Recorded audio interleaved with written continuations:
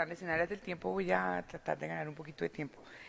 Eh, nosotros se hizo una reunión hace unos dos o tres meses para buscar líneas de investigación que se pudieran hacer a través de la sociedad. Y la idea era, a través de esas líneas de investigación que resultaran, definir eh, líneas de investigación que pudieran salir a través de la sociedad de gastroenterología o la asociación de gastroenterología. Hubo dos líneas de investigación partiendo del hecho que en Colombia no sabemos en qué estamos, no existen registros y aparecieron dos líneas de investigación, una de dispepsia y enfermedad por reflujo para definir prevalencia y este del cual vamos a hablar hoy. La idea es sensibilizar para ver con quién vamos a contar para hacer el trabajo. Es un trabajo de toda la sociedad, de todas las áreas geográficas de Colombia y de todo el país. Definitivamente el cáncer colorectal es un problema de salud pública importante en los países desarrollados.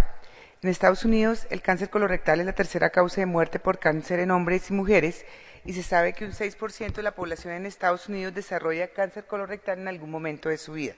Si nos recordamos cuando a Ronald Reagan le dio cáncer de colon, hasta la presentadora de US Today, que su esposo también se ha muerto de un cáncer de colon, apareció en vivo haciéndose una colonoscopia. Eso era una forma de sensibilizar a la población dándole la importancia y la carga de la enfermedad en cuanto a salud pública del problema. En Gran Bretaña es la segunda causa de mortalidad por cáncer y afecta a 30.000 personas cada año con una supervivencia solo del 40%. Actualmente el 80% de los casos se diagnostican en estadios avanzados. Con esta alta incidencia y mortalidad en los países industrializados, el cáncer colorectal constituye una alta carga en salud pública. ¿Por qué es importante en Colombia? Porque Colombia tiene dos comportamientos desde el punto de vista epidemiológico. Tiene un comportamiento de país en vía de subdesarrollo y un comportamiento de país eh, desarrollado. En Colombia, por eh, estadísticas del Instituto Nacional de Cancerología, es la cuarta causa de muerte por cáncer para ambos sexos, mostrando una tendencia ligeramente mayor en mujeres con un aumento constante en incidencia desde el inicio de la década de los 80. En el Instituto Nacional de Cancerología se muestran elevaciones en mortalidad que van de 177 casos nuevos a 324 casos nuevos en el índice de menos de 10 años. Este es el comportamiento que ha tenido el cáncer de colon en los últimos 10 años. No tengo 2011 ni 2012, pero en, en el Anuario Nacional de Cáncer del Instituto Nacional de Cancerología, este ha sido el comportamiento del cáncer gástrico, del cáncer de colon y cáncer gástrico. ¿Qué es importante aquí? Cuando yo hago proyección de esto al 2045, el cáncer de colon va a ser mucho más frecuente e incidente que el cáncer gástrico. Por esta razón, esto es bien importante. Siguiente. Lo que no queremos es llegar a esto. Pero resulta que si yo no sé cómo estoy en Colombia, solamente tengo una aproximación hecha por los casos que llegan a cancerología, pues yo no puedo determinar políticas ni guías de tamización. Por esa razón, sabiendo que la carga de la enfermedad y todo lo que hemos dicho hasta ahorita, la carga de la enfermedad dice que es la tercera causa de muerte en hombres y mujeres en Estados Unidos, que se gastan 8.4 billones anuales en tratamiento de cáncer de colon y que en Gran Bretaña es la segunda causa de muerte. Pero yo en Colombia no sé qué pasa. Lo que decía ahorita, para el 2045 el cáncer colorectal se igualará al cáncer gástrico en Colombia por la alta prevalencia, su larga fase asintomática y la presencia de lesiones precancerosas tratables, el cáncer colorectal llena desde todo punto de vista todos los criterios para realizar tamización. Por lo tanto, creo que está más que justificado por su incidencia, por su mortalidad y teniendo en cuenta la insecuencia de enoma carcinoma y basándose en el Estudio Nacional de Pólipos de la doctora Winaber y el estudio multicéntrico italiano del doctor Citarda, desarrollar un un registro nacional de pólipos. ¿Por qué? Porque nosotros tenemos que determinar la carga real de las neoplasias colorectales en Colombia para poder planificar los requerimientos de los servicios y la prioridad para asignación de recursos a través del Ministerio de Salud. Hay que determinar las tendencias de incidencia y prevalencia de las neoplasias colorectales y tenemos que identificar los cambios en los patrones y los grupos de riesgo de la población es importante determinar los cuadros clínicos en nuestro país y si existen condiciones predisponentes para poder ayudar a la predicción. Como hizo la doctora Winaber, hacemos seguimiento a uno, dos, tres o cuatro años para determinar pronóstico, más que predicción.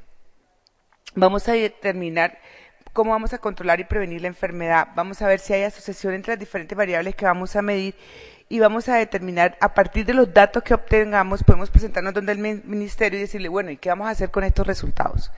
Entonces, ¿cuál es el objetivo de nuestro trabajo? Vamos a tratar de evaluar la prevalencia de lesiones preneoplásicas y neoplásicas del colon en las diferentes regiones de Colombia por medio de la participación de diferentes instituciones representativas de cada una de las zonas geográficas de nuestro país. ¿Cómo lo vamos a hacer? Con la participación de todos y cada uno de ustedes. Sin ustedes este trabajo no se puede hacer. ¿Cómo lo voy a hacer? Todos los pacientes que sean remitidos a colonoscopia en las instituciones participantes van a recoger unos datos básicos de los pacientes, porque es la única forma en que yo puedo determinar una prevalencia de cáncer de colon en los pacientes remitidos para colonoscopia en esas, en esas instituciones y vamos a tratar de evaluar factores predictores de pólipos o de neoplasias en estos pacientes estudiados. Vamos a evaluar si la edad, el sexo predicen la presencia de pólipos. Vamos a determinar características demográficas en los pacientes con pólipos y sin pólipos y vamos a cuantificar la proporción de pacientes que tenían síntomas en el momento en que se le diagnosticó el pólipo y quienes no tenían síntomas. Para hacer esto, se diseñó un estudio observacional analítico con pacientes consecutivos a los cuales se les va a realizar colonoscopia en las instituciones participantes durante seis meses. La población, obviamente, entonces serán los pacientes consecutivos que ingresen a realizarse una colonoscopia sin importar la indicación por la cual entren en las instituciones que decidan participar hoy que cumplan los criterios de elegibilidad. ¿Cuáles son esos criterios de elegibilidad? Pues obviamente que tenga más de 18 años, que venga a realizarse una colonoscopia, además que se le realice la colonoscopia, que no tenga una contraindicación formal para realizársele y que tenga una autorización y un consentimiento informado. El único criterio de exclusión es que no tengamos los datos completos del paciente. Hoy la idea es pues, sensibilizarlos a ver qué instituciones de las diferentes áreas del país quieren participar. Hoy vamos a tratar de definir las instituciones de acuerdo a los líderes que deseen participar. Este líder será el nombrado el coordinador de la institución y además ustedes decidirán entre ustedes quién puede ser nombrado el coordinador del área geográfica. Y esta es la primera reunión de sensibilización para realizar el trabajo. A mí me gustaría que Rodrigo presentara la parte de variables. La parte de variables lo, lo hicimos lo más sucinto posible para que no sea una carga en el momento de realizar la colonoscopia, es colocar los datos demográficos del paciente para poderlo contactar después.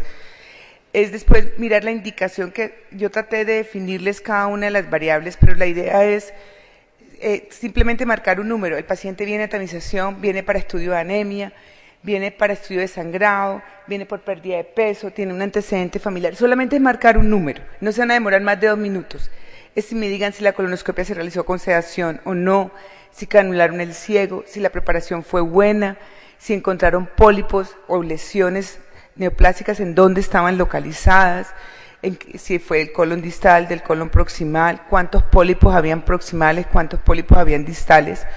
Y hemos definido al doctor Camilo Pérez de Medellín para que sea el líder de patología.